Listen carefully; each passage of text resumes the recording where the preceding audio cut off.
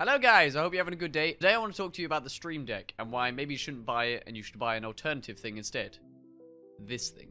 I've been using the Stream Deck now for like a month or so and I've put it back in the box and I'm returning it now because I decided I don't want it anymore.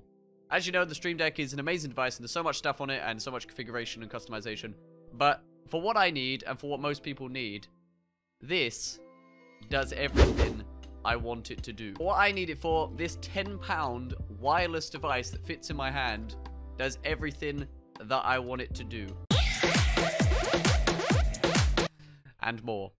Getting rid of my camera, bringing back my webcam, like filters in adding sources, like everything that you want to do with a Stream Deck, you can do with it. I've had this for a while, but I didn't know the software existed to be able to use this as like for what I want to use it for. Until recently, when a YouTuber called Nutty made a video on how to use any device as a Stream Deck. I can do stuff from over here.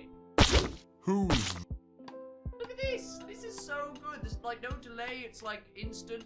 So good. I put an affiliate link in the description if you want to buy one of these. It's £10.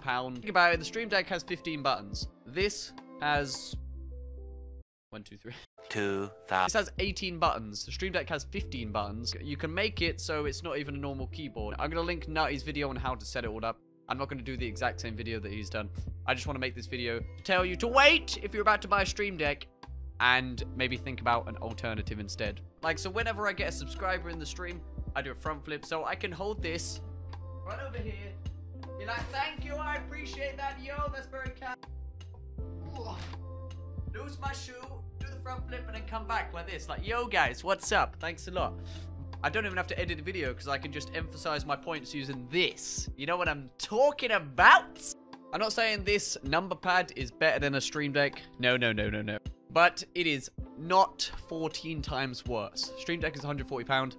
That is £10. If you need like so much more customization, get a Stream Deck. But if you're going to buy one of those like 24, 30 key ones, it's going to be about £300, which is 30 times more expensive than this. So if you guys are thinking about buying the Stream Deck, uh, just take a second and maybe consider an alternative. Obviously, the Stream Deck is way more professional and it can offer a lot more than just this. But 90% of the stuff that you'll use the Stream Deck for, you can do on this. Anything you want to happen if you want to switch a scene or you want to toggle a source or you want to activate a filter, a transition, like make it stream, make it record, make your OBS do anything. You can do it all with this software.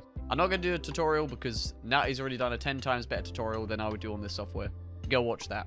If we compare this with the Stream Deck software, the majority of the things on this, you can do all of these things with this. I'm not sure about the Twitter stuff.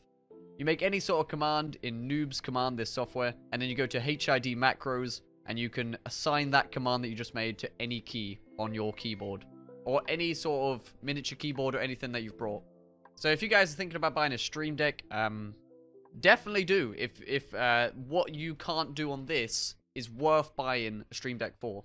But if you can do everything that you want to do, if it's just like basic stuff like switching scenes and activating sources and stuff, then definitely consider something like this. It's like it's so much cheaper and it does the same thing and it's wireless. Like it's so convenient, so good. I don't know why I didn't get this a long time ago because Nutty didn't make the video. I didn't know the software existed. That's why.